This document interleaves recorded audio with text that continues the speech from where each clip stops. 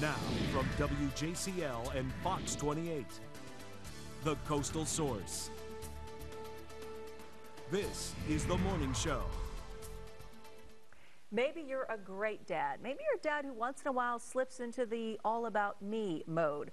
Or maybe you're a father who really needs to step up his game. Well, author Greg Gray joins me this morning, all the way from Stone Mountain, Georgia. Nice to see Thank you. you. Good morning. Thank you so much for being here. He authored the book um, uh, right here, Dad from a Distance. And uh, I was flipping through this, and I was really impressed by so many of your points in here. Thank you. And you've put together um, some, some, I guess, the greatest tips that you could give to a father. Yep. In this day and age, Greg, we got dads at the table with their cell phones, you know, we got all this busy stuff, better places to be when raising a child is the most important job of a father and a mother's life. That's exactly right. And uh, I can't think of anything that would be much more of a priority for any guy than to be a dad.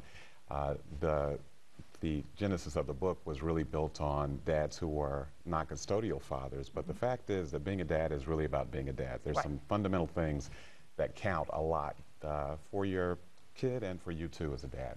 How about you going over some of the tips? You submitted these, we put them up on, on the screen, so make it real easy for everybody to see, and it's a bunch of B's. right, exactly. First exactly. of all, uh, be present. Absolutely.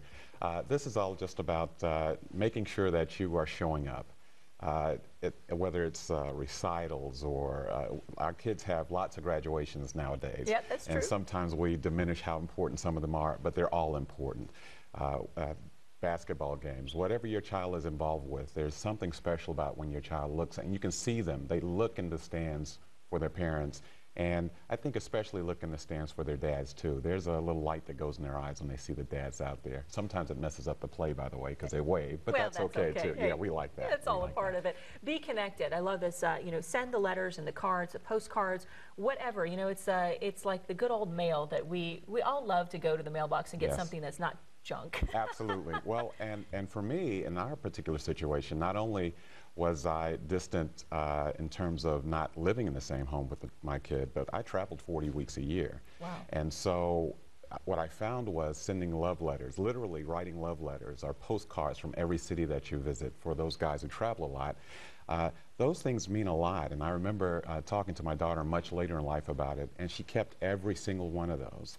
And, uh, and you know, kind of made me feel real good inside that that had made that kind of impact. So, That definitely shows how special. And just you know, real quickly, you can Skype if uh, that, Yes. that that is the day and age that we are in. So Absolutely. you can definitely Skype and actually get to see your child if you are on the road. Um, That's exactly right. Be respectful. Don't bash the mom in front of the children. That is a very uh, a bad thing to do because Sure. the child loves the mother as well. Absolutely. Well, we all know that one of the quickest ways we could start a fight in school was to talk about someone's mother. And, uh, That's true, Greg. And for non-custodial fathers especially, there can be a tendency, if we're not careful, to forget that our children are listening to everything that we say. So uh, it's not only a good thing to be respectful of the mother for the mother's sake, but as you mentioned, for the child's sake, because they, they kind of log all that stuff in. And if you are respectful, quite frankly, it can kind of inoculate you against some negative messaging that might be coming down the pipe from the other direction as well.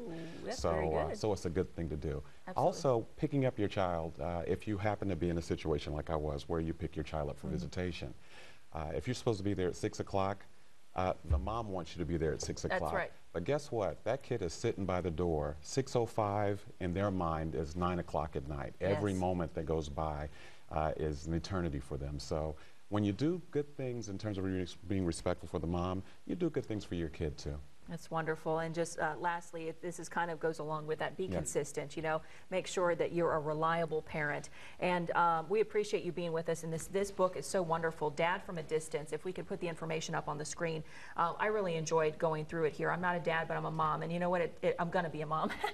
Well, good for you. Uh, I'm already. Congratulations, by the way. Thank you, thank you. Uh, it, it's important for any parent. I mean, I think moms can get almost as much out of this as, as the fathers could. And I guarantee there are moms at home nudging dads right now. Well, I hope so.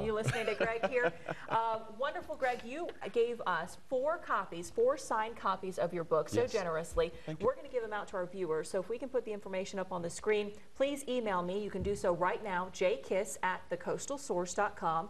Leave me your name, your address, and your phone number in order to be eligible. Entry deadline, 7:30 this morning. We will notify the four winners by 8 o'clock this morning.